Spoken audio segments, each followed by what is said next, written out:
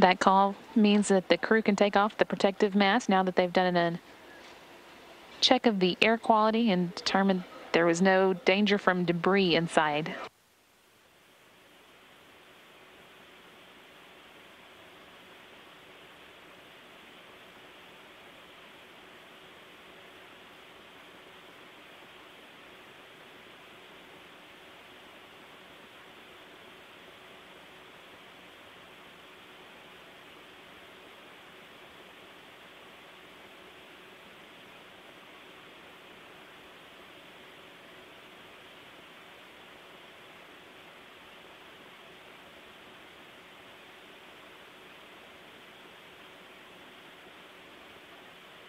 Discovery and station crews taking advantage of the fact that the Kibo is the largest laboratory on the station to stretch out and perform some acrobatics.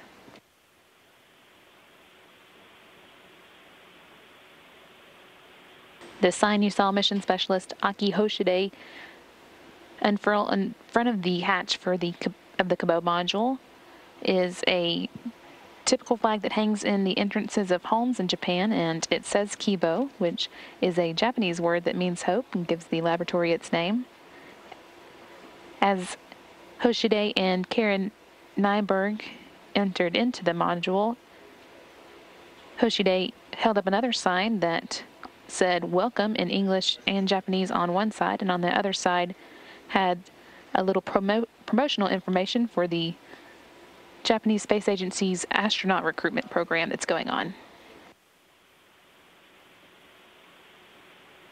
The entire laboratory is a little less than 37 feet long and about 14 feet wide, and again is going to be the largest that the station has on orbit.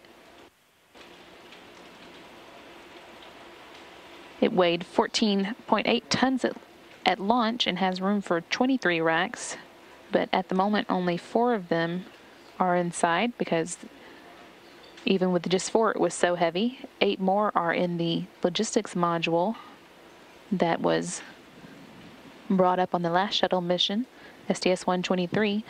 They'll be installed during this flight into the main laboratory module here, beginning tonight with the installation of the, rather the transfer of the robotic arm workstation for the module.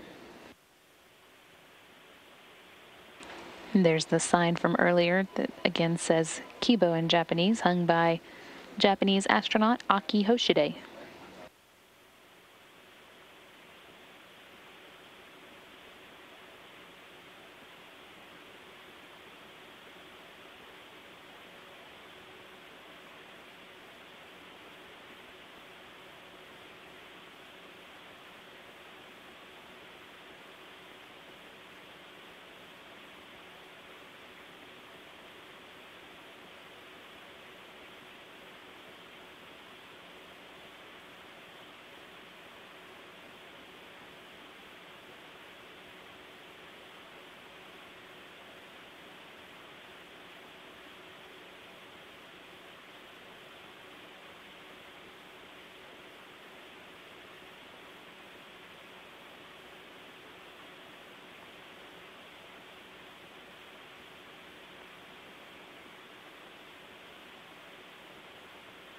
Well done, Garrett. Well done. Golf clap.